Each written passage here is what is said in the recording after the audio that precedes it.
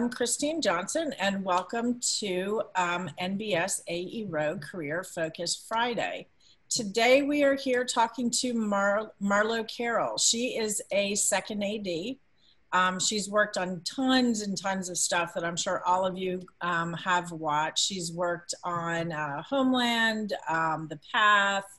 She's worked on Birdman. She worked on The Marvelous Miss Maisel.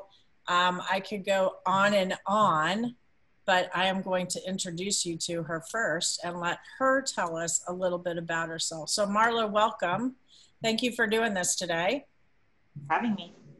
Hmm. So, could you tell us a little bit about um, how you got started in this business and why you wanted to get started in this business? Um, yeah, of course. So I I was never a very good student of academia. Um, I grew up on Long Island, very close to the city.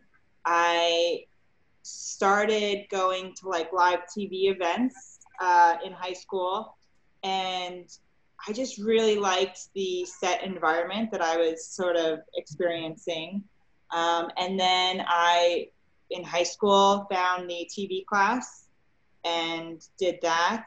And then when I went to college, I, you know, went to a TV uh, communications program, um, and really, it was just what I was passionate about. I wasn't necessarily doing well in math or history, but I would go to the TV studio and lock myself away for 12 hours with people, the camera, writing, all of you know everything that we could do to just you know make make a story um, and I thought um, I, I, was very happy with that. And then I got very lucky um, in that I was in your class, Christine, and they were shooting a, a independent film very near to where I was studying school, looking for interns, and I just jumped in it.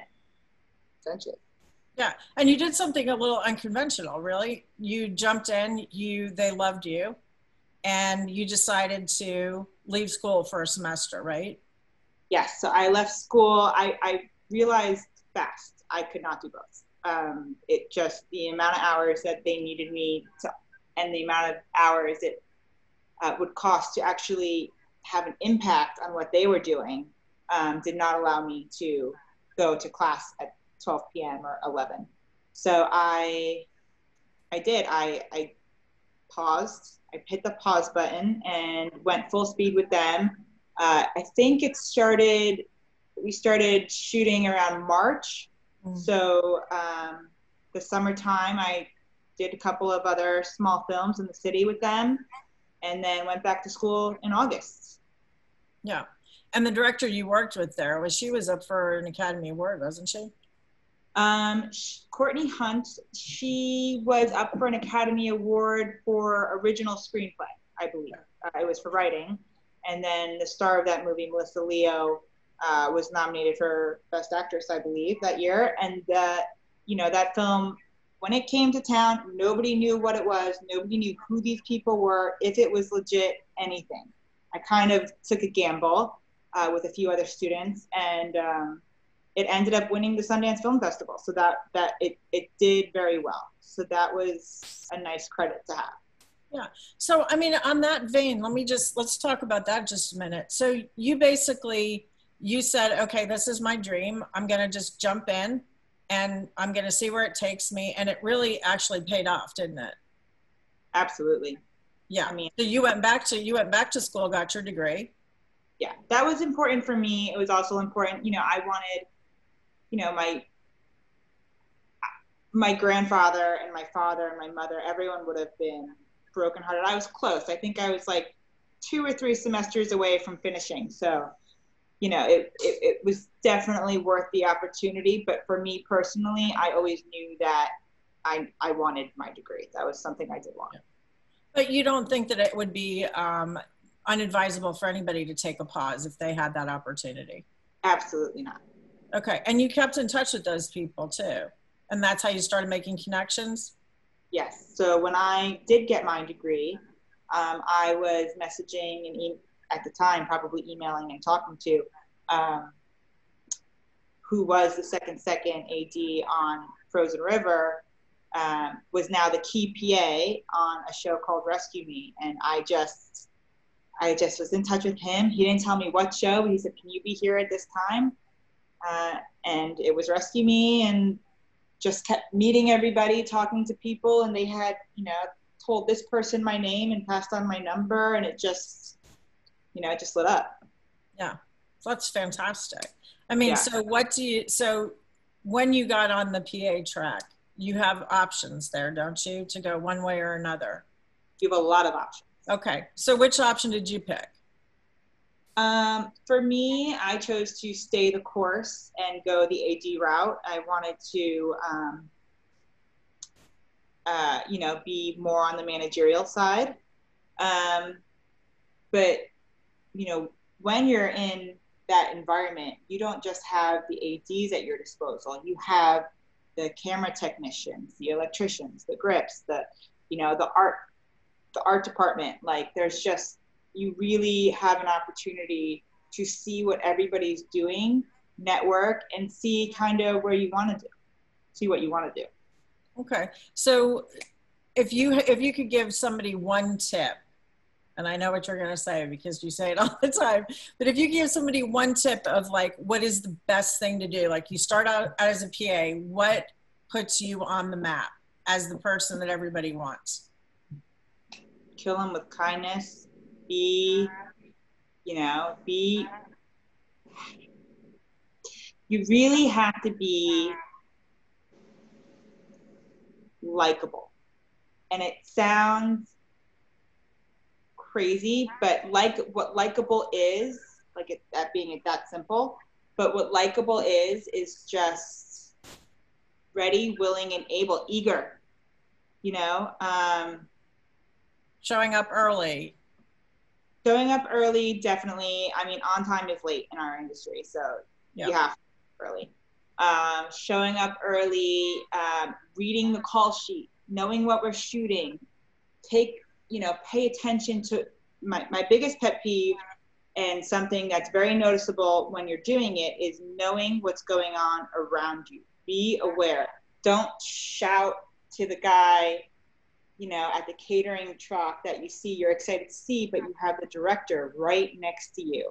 You might not, you know, realize realize what's happening around you, realize the conversations. For for the AD department, one of the things that you know we do is we're we're kind of spies a little bit. It's a lot of listening, paying attention, putting your ear a little bit closer um, to a conversation. Um, read the script, um, you know, there's a lot of preparation that you can do. And yeah, you might do all of those things. And then as a PA, you might be two blocks away from the camera doing, you know, some sort of a lockup. And that's a big part of what we do also. But it definitely doesn't hurt when you're, you know, when you're prepared and uh, you know who people are. That small things like that, just knowing just if you don't know who somebody is, hey, I'm looking for our art director, John. Um, say, hey, John, like you don't know who John is, John, like proactive. Yeah, proactive. Um, so when you decided you were going to take the AD route, what exactly do you have to do to get into the DGA?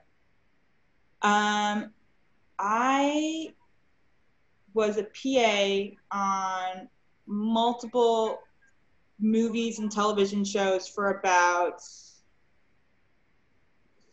five or six years.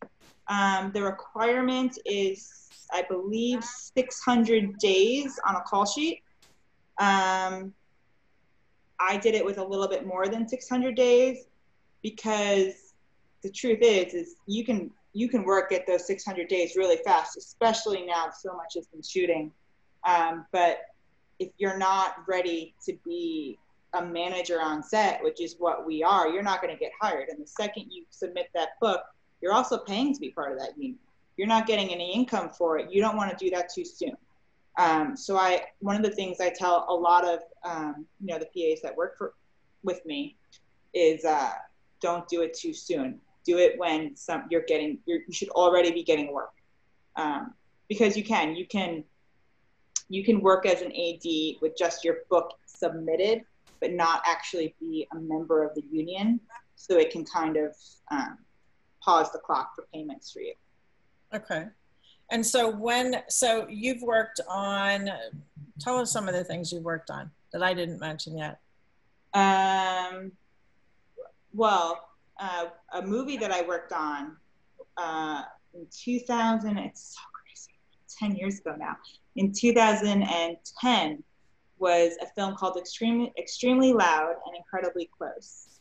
Um, and that was with Tom Hanks and Sandra Bullock, but um, it was with a director uh, named Stephen Daldry, who I was just pondering today, like who I really enjoyed working with. And um, he is definitely one of those directors that um, was very pleasant, very pleasant to be around. Uh, and what, and so, and then you you've worked a lot of episodic television. You've worked movies. Do you have a preference, or movies. do you not care? Movies. Movies. Um, and the reason that is time. Um, studios usually allow, you know, you, and directors want to shoot one scene, maybe two scenes, depending on the location, the page count, what's going on, um, in a day. Whereas in television, they'll throw 12 pages at you, get this done today. And I do a lot of the background work. So I'll set the background and um, do all that stuff. So it's hard for me in television to not really have the pleasantry of time to have a rehearsal where a director will at least give you that. In TV, you don't get the same amount of time, I find. Okay. I mean, I know that you've been, you have like shared stuff with classes of mine that you've done like a lot of stuff with the path with uh, special effects and green screen work and, um, and that's stuff that you're setting up as well. Yeah. Yeah, definitely. And, and all of that is just being part of a team and talking to your VFX supervisor, your director, just kind of knowing what they want, get in their head a little bit, and and then it's easy. So, so if you had advice to give anybody right now that was looking to get into the industry or somebody that's in the industry and might be struggling a little bit to find work, what would you suggest? Um, if you're if you're already in the industry, if you've if you've had some time on set and you're looking to get work, I would say just you got to keep reminding people that you're there. You text me, I'm available. I'm uh, looking. This was my last thing. This might be who you know. That if I don't know you, I can call that person and just be like, "This guy any good?" or "Is this girl any good?" Um, that that's how you know you'll get me to pass the name on to I have the, the PAs usually hire the PAs so I'll just pass the name to the PAs and, and you know, they'll give you a call. So if you're already in the industry, just keep reminding us you're there. If you're not in the industry, find us. There's websites. Um, I think the DGA has a, don't think you have to be a member to view it, but there are production lists um, that you can find and you can call production offices. You can, um, you know, if you see, if you see a shooting on the street, if you happen to live, especially in New York, but if you see a shooting on the street, say hi. Um, do, if you can, uh, talk to a casting agent, even if you're not an actor, maybe you can get a day of background work um, and see sort of get a foot in that way.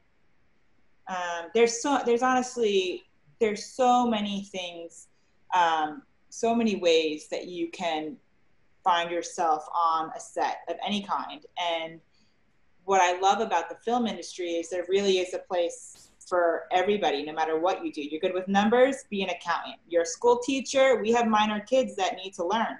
Um, you know, you like to paint houses, build. That's you know, there's there's there's so many ways. So.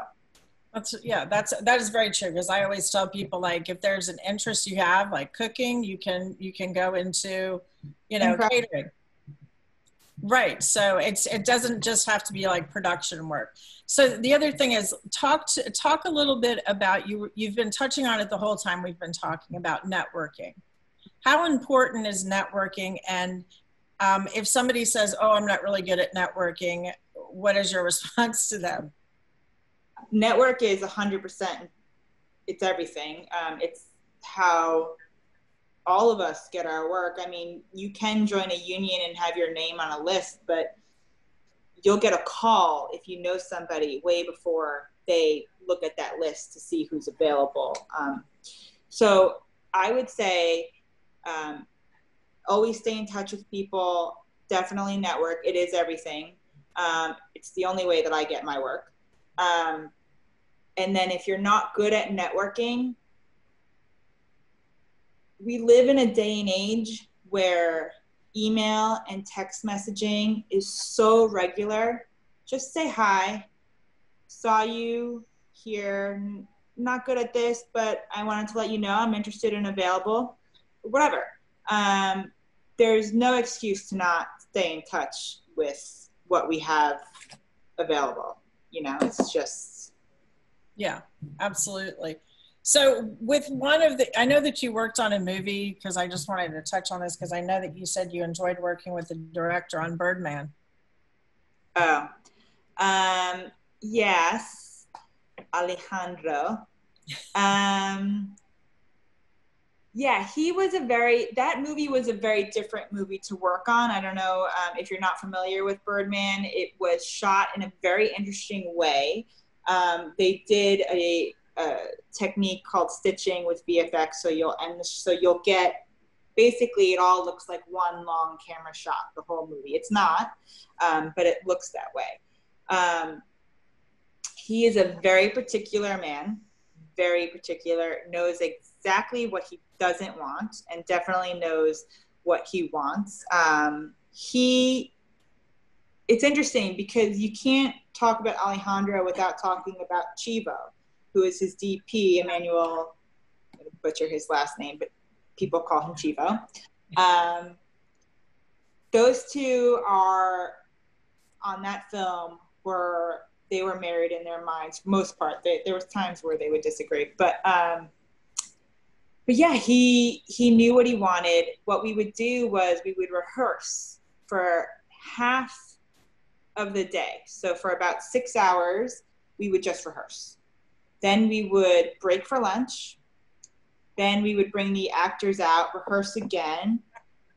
And then we would probably do maybe up to five takes, six takes. And that was our day every day because it was all about one particular shot each day for the most part. And how long did it take you to to shoot that movie? Uh, that was probably six weeks. Six weeks of shooting. Because that won Best Picture, didn't it? Yeah, it did. Yeah. Yeah. So you've worked on some pretty some pretty good things, Marla. yeah. Yeah. Yeah, well, that's awesome. Well, I just we want to thank you so much for um, uh, you know, for talking to us. And I'm going to kind of open it up a little bit, see if anybody has any questions that um, that they might want to ask. And um, you know, I'll let them ask you, and you can you can tell them all about what you've been doing. Okay, Marlo, um, I have a kind of a selfish question. I love the marvelous Mrs. Maisel. is um, is that is that going to be coming? Well, it's tough to tell what what's going to come back or not. But what's your, what's your sense about the future of uh, of that show? Good, very good. Yeah, I think it's definitely um, it's Amazon's baby. They mm-hmm. they will do everything that they can to nurture that project. Um, and so I haven't heard much about it recently. Um, Andrew, had, had, had you heard anything about Maisel? No word, but uh, I I know every time I've been on that set, it's it's always very. It reminds me it's a period show and they have the ability so quickly to turn the city over in a way that is really cool. I did uh, the last time I worked on it, we did a USO, a USO um, event, and she does, she comes and she does the whole thing, and uh, the people there, the people on that show, to make that kind of stuff happen, is just they're on top of it. And Amy, the, the art direction is amazing. Yeah. It really, yeah. it really is. Um, I actually, I, I, do have another question. Uh, you chose the uh, basically the management route from being a PA up, up to uh, through the through the ADs.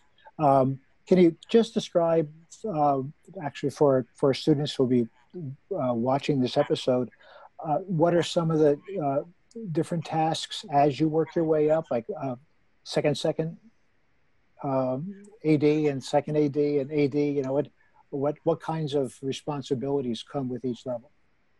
Sure.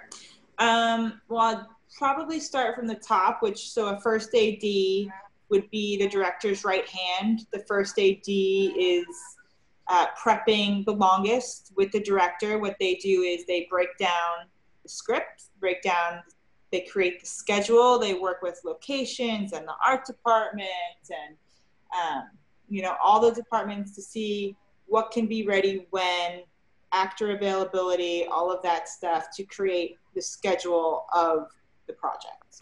Um, and then they're the director's right hand on set. To go along with that would be the second AD, who is who is when you think of a second AD, it's not all that they do, but the one thing that the one document that any show will have is the call sheet, and that is that is produced by the second AD. And um, what a second AD does is they'll go through everything that they did in prep, which is break down all of the elements of a, of a scene, all of the elements of um, of the next shooting day. So, and they'll create a call sheet. Um, so this scene requires the blue vase. Hey, props, you still got that blue vase? Great. Um, how much time do you need in makeup for this person so I can call this actor in, you know, at whatever time? And and so there, while we're working on today, the second AD usually is well is working on tomorrow, but um, is also dealing with daily tasks of today. You know, making sure that actors are showing up on time, that they're getting into hair and makeup. If there's a if there's a thunderstorm coming and we're outside, um, what can we do next? How do we, you know, how do we keep today moving as well? So the second AD is always very busy.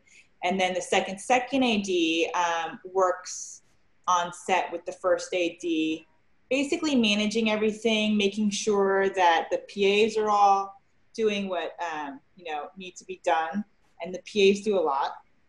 Um, and then you're managing the crew, keeping them informed, letting them know what's going on. You're in those conversations with the director. You're hearing, I want to look this way first. I'm going to look, be looking over there hmm, I see a camera cart over there. That's not going to work. Uh, hey, camera department, uh, we got to move that camera camera cart. We're going to be looking there in the next shot. It's funny, I use the camera department as an example because they're the ones that always know pretty much where the camera is going to be pointing. So they don't always like tell them. Um, but, you know, just basically being the eyes and ears for the set and, uh, and then background, which is always fun for me. I, I love give me 50 guys. You want a crowded room? Okay, cool. You be over here. You're gonna be walking this way. You're gonna be planted over here. Just you know, having that. It's a little bit of me being able to be creative, um, which I enjoy. I hope that answers. Okay, great. That sounds good. Thank you. Some of it. Of course, there's always room. Every everybody works differently, especially regionally. ADs regionally work very different. In California, it's different than in New York. So, um, you know, I, I have not worked on the West Coast, but I have heard. So, and then in Canada, there's no second second, it's a third. So, it's all. For, for your backgrounds, I do you have do you have extras waiting to be used in the background, or how, how does that work? Um, usually it, it depends on the scene. If it's like a if we're shooting on a street in New York, probably I wouldn't have anybody waiting.